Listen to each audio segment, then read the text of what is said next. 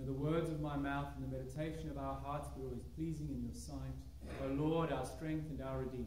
Amen. Please take a seat.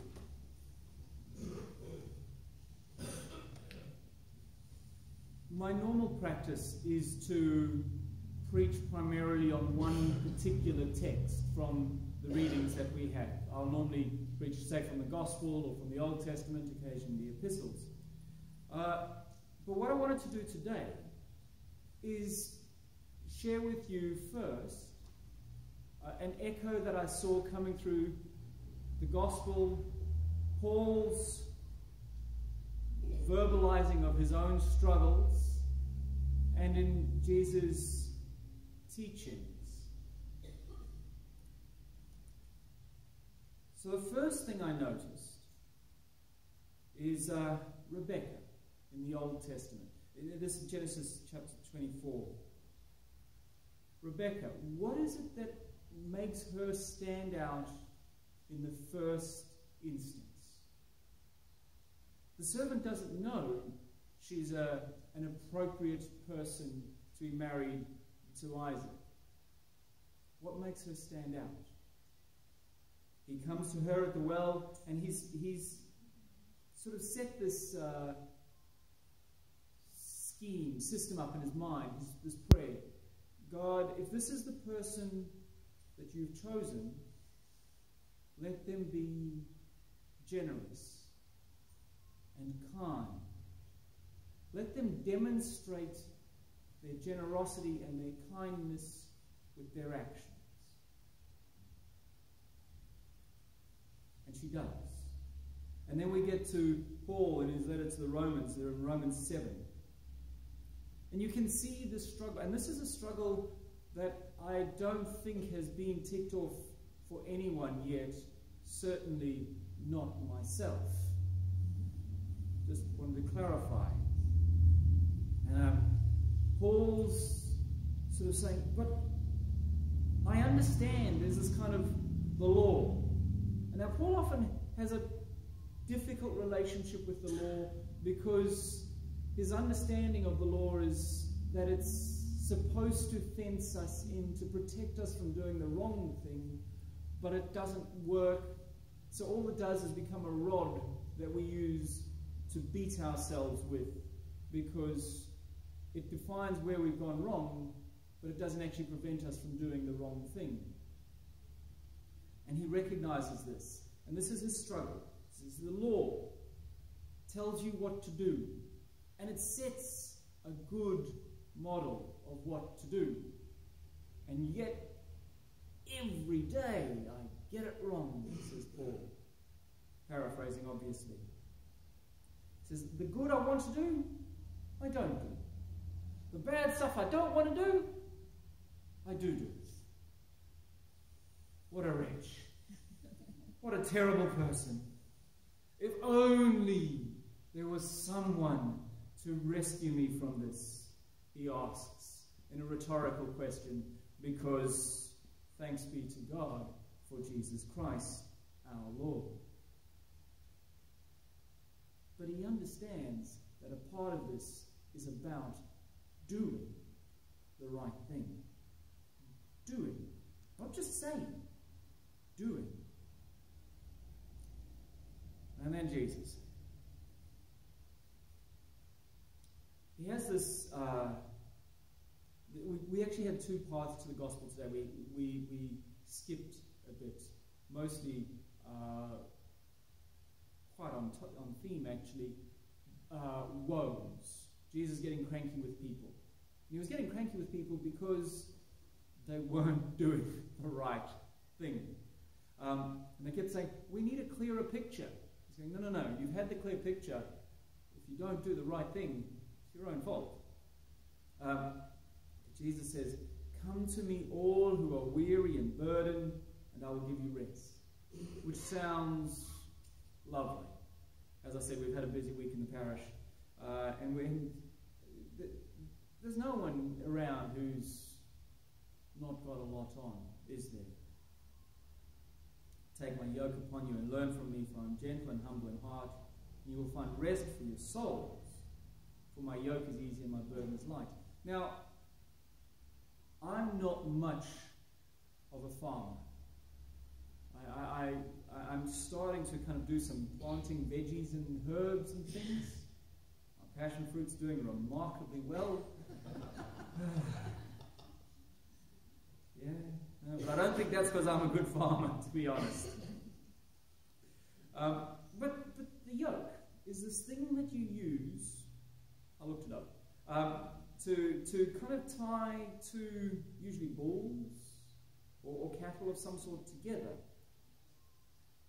And you don't do that because it's a good way to keep cattle in the same place. It's not like a, a fence that just stops them from wandering off. You do that because they are going to be doing something. Jesus doesn't say, Come to me, all who are weary and burdened, I'll give you rest, and you can just kick back, uh, drink Mai Tais in, on, in, in, the hammock as the sun sets. I don't know what Mai Tais taste like, but it sounded good. they taste good, do they, Bob? I'll take your word for it. Um, it's not, and then there's nothing left. But rather, it is that there are things that we do but there are things that we do not by ourselves, but yoked with God. When I was going through uh, theological college, there was this, this phrase being part of the mission of God. Not leading a mission, but being part of the mission of God, understanding ourselves as fellow workers with God in God's mission of love. So you can see why I saw an echo, a theme that ran through them about a faith or a character that leads to actions, actions that are good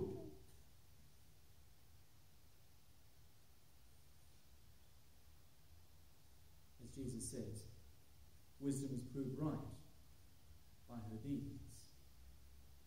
The things we do demonstrate our faith. Or to summarize, don't tell me what you believe. I'll watch you and I'll tell you what you believe. So I want to come now to the beginning of that gospel passage. Whoever has ears, let them hear. To what can I compare this generation? And there's a thing about human beings. I don't think it's just Jesus' generation. So they're like little children. Obviously, there's a game. There's a game we no longer play. It's a game they used to, kids used to play in the marketplace. They probably didn't have iPhones back then. You know, so you couldn't give, mum couldn't give the kids an iPhone to play with. So they played a game. And it's obviously a calling out game. We played the pipe. You did not dance is the response. We sang a funeral dirge. You did not mourn. It's a call and response game. But it he, Jesus is using it as a, as a demonstration. Because the people of his day have demonstrated an hypocrisy. Because they had John come. Now, John is incredibly powerful and faithful man. And uh, famous for wearing sort of camel's co- coats made of camel's hair and eating honey and wild locusts. These days, they'd probably put out a book, you know, the John the Baptist diet. It's all paleo. Only what you catch in the wild. Um, him was he has a demon. He, he's, he's not quite right. Because he was different. So Jesus comes in. Uh, he upset a lot of people, Jesus, because he often sat down for a meal, for companionship, for friendship, uh, to teach. And he did so with people that were socially unacceptable. And people criticized him. You can see how he's referencing the children's game. But both John and Jesus demonstrated in their lives actions. John's life demonstrated a call to repentance, to return to God, to cleanness. Jesus' life is, was a demonstration, a walking, talking demonstration of compassion and kindness, of reaching out to people that normally wouldn't be reached out to.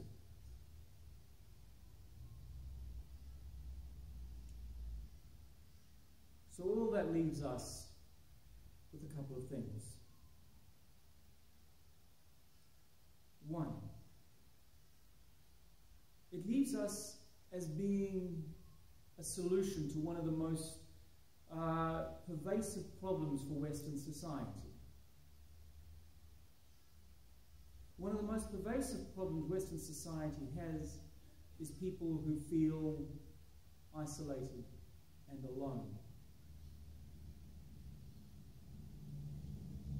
I was talking to someone recently about uh, it's important that we invite people to church. We invite our friends to church, and they went, I don't have any friends that aren't church friends. Which made me think, I wonder how many people out there just don't have that, I don't, just going, I don't have any friends. I suspect the answer is an unfortunately large number. We have something that when we yoke ourselves together with Christ, when our actions are actions like Rebecca's kindness and generosity allows people access to a community of friends, fellow workers with God. It's important that we remember that. Sometimes I think we, we forget what we have to offer, and it is good. The other thing we have to remember, and this is far more challenging in a sense than just inviting friends to church and to become a part of us is that we're not just a social club. And if we fall into that trap, we become a bit like Paul. We become a group of people who do the wrong thing, even though we should know the right thing. We're called by God to do things that are good. In the name of God, Father, Son, and Holy Spirit. Amen.